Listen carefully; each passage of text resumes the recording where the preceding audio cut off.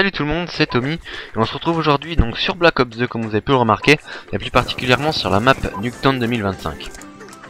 Donc cette vidéo consistera en un petit tutoriel euh, pour faire des carnages, mais pas des carnages comme vous pouvez le voir sur YouTube assez souvent, pas des plus de 200, pas des plus de 100, ce sera une vidéo tutoriel vraiment pour faire des carnages, mais en tant que joueur moyen. Voilà, c'est ça que vraiment j'aimerais... Euh, démontrer dans cette vidéo.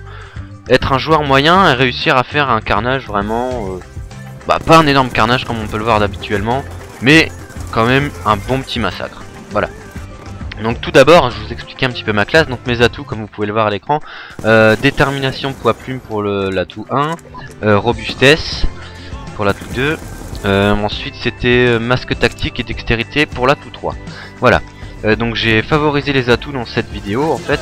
Euh, par rapport au... Enfin contre les, grenades, que ce soit mortel ou tactique. Euh, et puis j'ai pas de secondaire non plus il me semble.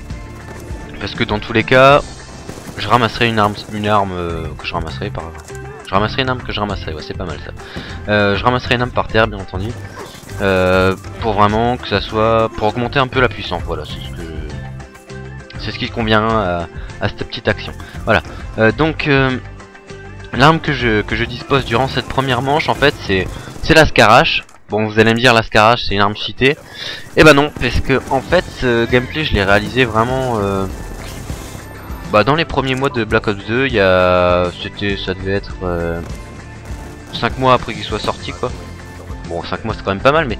Enfin bref, elle était pas encore euh, aussi cheatée qu'on peut l'avoir peut l'avoir maintenant.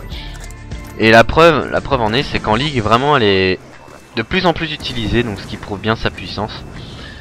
Mais donc euh, à l'époque de ce gameplay, elle était vraiment, enfin c'était une arme moyenne quoi, une arme basique. Et c'est ce que j'ai voulu rechercher dans ce gameplay justement, jouer avec une arme basique, des accessoires basiques. Et donc c'est pour ça que j'utilise ce viseur euh, que j'utilise habituellement jamais. Donc euh, je me souviens même plus de son nom. donc que j'avais associé à la crosse, puisque la crosse j'utilise toujours sur, sur mes fusils d'assaut. Et je vous le conseille vraiment euh, sur les fusils d'assaut pour être vraiment plus maniable et plus couvrir un max de terrain. Ah voilà, donc euh, je vais un petit peu maintenant vous expliquer euh, bah, le tuto, voilà. le tuto de cette vidéo. Bah, je parlerai de mes score après, voilà, j'ai pas oublié. Donc ce tuto c'est pour réaliser, comme je l'ai dit, un petit massacre, mais pas en étant un PGM, voilà. Et puis, comme la plupart des joueurs jouent aussi sur, sur les Call of, je pense que la plupart d'entre nous on joue solo. Et voilà c'est ce qui est vraiment un inconvénient pour réaliser les plus les massacres qu'on voit sur YouTube et les tutos qu'on peut voir où les mecs nous réalisent des plus de 200 kills euh, avec des triples nuques. Voilà je suis d'accord c'est énorme à voir. Mais bon c'est c'est pratiquement impossible à réaliser quand on est un joueur moyen et un joueur solo. Comme moi particulièrement je Malgré que je fasse partie d'une team, on joue vraiment rarement ensemble, quand on est ensemble c'est deux ou trois, donc pas possibilité de faire des énormes massacres. Euh, donc voilà, le, le tuto il va commencer un petit peu maintenant. Donc, tout d'abord, les placements. Voilà, c'est la chose la plus importante pour réaliser un massacre. Donc le mieux c'est quand même de favoriser une map assez petite. Donc là, j'ai de la chance, j'ai la, map la plus petite du jeu. Euh, Nuketown 2025. Bon, il y en a d'autres où il y a moyen vraiment de se placer comme il faut pour euh, bloquer les spawns. Donc bien entendu, la première chose qu'il faut faire pour bien se placer, c'est d'avoir les deux drapeaux. Voilà. Ou que si vous jouez en démolition, parce qu'il y a vraiment moyen de faire des, carnages aussi en démolition. Donc vraiment les, deux modes c'est la démolition et la domination. Euh, donc il y a moyen voilà de se, placer comme ça en prenant A et B ou B, ou B et C pour euh, la domination ou vraiment en, en se mettant à la moitié de la map en démolition pour bloquer les ennemis dans leur spawn, voilà. Même si on est en solo, il y a quand même moyen de le faire comme vous pouvez le voir à l'image. Mes alliés sont dans notre spawn, moi j'arrive à bloquer euh, tout seul grâce un petit peu à mes score streaks qui m'ont aidé. Voilà, donc je vais parler maintenant un petit peu des score puisque c'est la, deuxième partie de, ce tuto.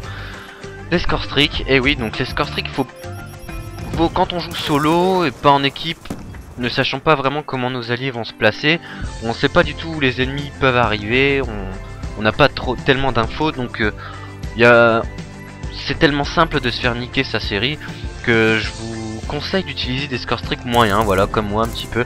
Donc le foudroiement qui permet vraiment d'assurer quelques frags et de monter un petit peu euh, au score strict suivant. Euh, que j'ai là j'ai mis notamment l'aéronef. L'aéronef vraiment fait pas mal de frags, il, faut quand même pas mal de temps pour le détruire. Mais encore plus le drone d'escorte. Donc voilà, je me suis j'ai un petit peu favorisé ces deux ces deux score streaks qui permettent en plus de continuer sa série d'éliminations euh, étant donné qu'on n'a pas besoin de, les contrôler. Voilà, par exemple comme le Lost Star, tout ça, où vraiment on doit passer son temps dedans pour défoncer les gens. Euh, là, on peut continuer sa série, donc je trouve ça intéressant. Voilà, et justement de pouvoir encore contrôler la map. Donc comme vous pouvez le voir, voilà, je me mets encore sur les côtés pour bloquer les spawns. Euh, troisième petite chose, la classe, voilà, bien entendu. Bon, j'aurais plus dû le mettre en 1, mais bon, c'est pas grave. Euh, on y vient. Donc la classe, vraiment, après, y a... Vous jouez avec l'arme que, vous aimez. Voilà, c'est le seul conseil que je vous donnerai, c'est une arme qui vous plaît. Voilà. Si euh, vous êtes habitué à jouer avec une certaine arme, avec des avec certains atouts, voilà, c'est à vous de choisir. Il euh, y a moyen de faire des massacres avec n'importe quelle arme, je vous le prouve dans cette vidéo. Puisque bon, la Scarage c'était pas terrible au début. Euh, là, la PDW qui a vraiment perdu de sa puissance aussi, avec le silencieux, donc encore moins puissante. Mais le silencieux, je vous le conseille vraiment si vous jouez en solo, afin de justement, étant donné que vous n'avez pas d'alliés qui pourraient vous bah, vous dire si des ennemis arrivent vers vous ou euh, qui contrôlent pas les spawns, qui, qui font pas comme une sorte de petite barrière. C'est intéressant de jouer avec le silencieux pour être vraiment furtif, pour être en mode un petit peu ninja et puis euh, euh, permettre, enfin, pouvoir bloquer justement les ennemis sans qu'ils nous voient. Voilà, c'est ce qui est intéressant. donc voilà, donc les, les killstrikes, la façon de se placer et puis la classe bien entendu pour faire des bons petits massacres sans avoir un un très gros niveau. Euh, donc la classe, comme je l'ai dit, c'est à vous de voir. Mais bon, je vais quand même vous donner quelques petits conseils. Donc premièrement, silencieux, comme je l'ai dit juste avant. Euh, je vous conseille aussi de mettre euh, le, double chargeur, là je me souviens plus, chargeur rapide, voilà.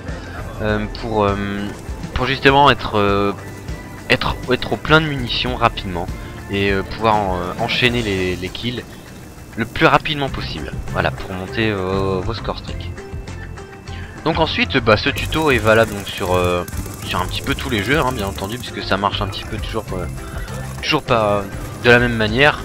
Les ennemis vont spawn à un endroit, et c'est à vous de, sans entrer vraiment dans le spawn pour pas le faire changer, de bloquer les ennemis dans, bah, dans, le, dans leur spawn. Voilà, je répète un petit peu le mot, mais c'est important. Regardez comme vous pouvez le voir là, en avançant un peu trop euh, sur leur drapeau, euh, les ennemis ont spawn de notre côté, du coup bah c'est comme ça qu'on peut peut se faire tuer facilement. Donc là bêtement je suis allé dans leur spawn et voilà ça, ça a fait un petit peu apparaître les ennemis n'importe où. Et c'est assez dangereux quand même. Enfin voilà donc euh, après les niveaux des score streaks ouais, je vous conseille des score streaks moyens. Donc étant donné que je vise que ce tuto vise des personnes de niveau moyen, mais bon, après, si vous sentez... Euh, si vous jouez à, déjà à 2 ou 3, là où les annonces sont un petit peu plus fréquentes et puis euh, les placements un petit peu... Bah, contrôlés, voilà, c'est le mot. Des placements contrôlés vous permettant de gérer un peu plus la map. Là, vous pouvez augmenter vos score streaks, mais franchement, moi, je vous conseille de, mettre des score streaks moyens, comme euh, l'aéronef et puis le drone d'escorte, qui permettent en plus de faire des kills à côté, donc c'est sympa. Ça permet de, rendre en plus les gameplays plus, plus vivant, voilà, plutôt que de voir un mec euh, défoncer euh, toute la map avec son lot star. Enfin bref. Donc voilà, c'est ce que je vous conseille. Donc bien vous placer, faire attention à ça. Vous mettre sur un côté de la map où vous arrivez à voir un petit peu euh, les ennemis arriver de... Enfin sortir de leur spawn. De prendre une classe qui vous plaît, avec un silencieux pour être furtif.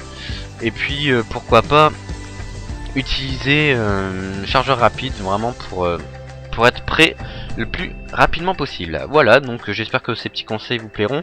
Et puis euh, moi je vous dis euh, à plus tard pour une prochaine vidéo. Et puis enjoy Bye les gens Cause I got it like that Flow so smooth like I got it on tap Yeah, and I'ma say it be a good night While I'm on my Yingling, while I'm drinking Bud Light Uh, can you get it when you miss me? Like I'm with whiskey, drinking Jim Beam Yeah, baby, do you do it, do it that way? Do you do